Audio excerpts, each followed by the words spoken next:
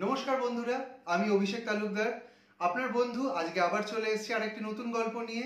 আজকের গল্প বনফুলের গল্প সমগ্রহ থেকে গল্প খেদি। আমি পাঠ করব এবং শোনার পরে লাইক, কমেন্ট, শেয়ার অবশ্যই করবেন।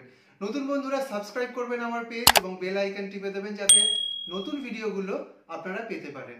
আরও অনেক অনেক অনেক গল্প নিয়ে আসব। সঙ্গে থাকুন, শুনতে থাকুন।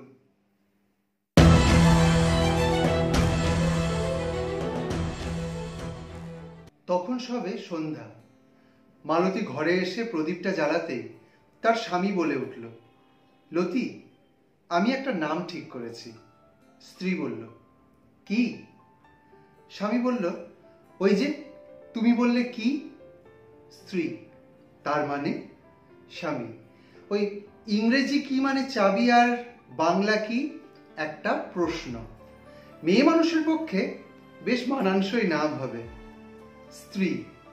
এখন কোথায় কি তার ঠিক নেই, এখন থেকেই নামকরণ। আর আমার যে মেয়েই হবে, তুমি জানলে কি করে? ও জ্যোতিষীর কথায় আমার একটুও বিশ্বাস নেই। স্বামী। না না, ঠিক মেয়ে হবে। দেখো তুমি, আমাদের শ্যামবাবু জাগ্রত জ্যোতিষী, স্ত্রী।